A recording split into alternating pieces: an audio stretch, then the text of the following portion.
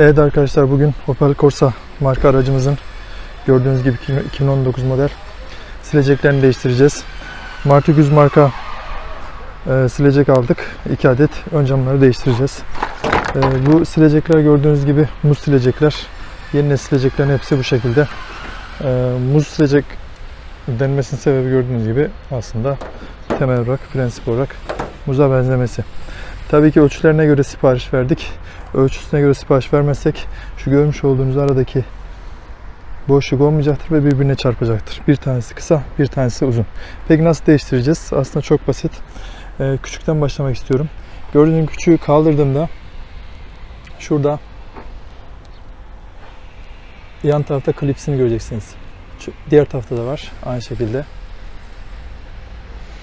Bu klipsleri iki taraftan tutup şöyle bastırdığımızda ve bastırdığımızda ve sileceği kırdığımızda hafif gördüğünüz gibi çıkıyor.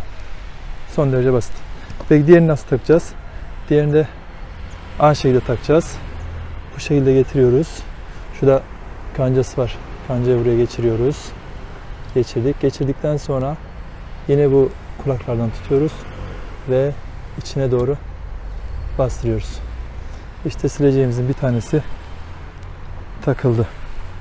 Şunu şuradan çekelim.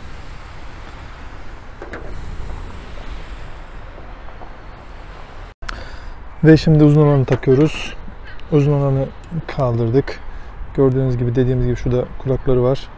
Kulaklarına bastırıyoruz. Kırıyoruz. Ve sileceğimiz çıktı. Diğerinde yine aynı şekilde gördüğünüz gibi önce şu kancayı geçiriyoruz. Tekerle yapmak tabi biraz zor oluyor.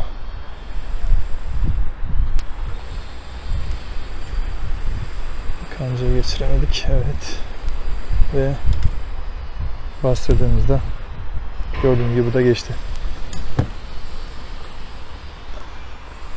Şimdi bakalım nasıl silecek. Evet silecekleri taktık ve şimdi nasıl çalıştığına bakacağız.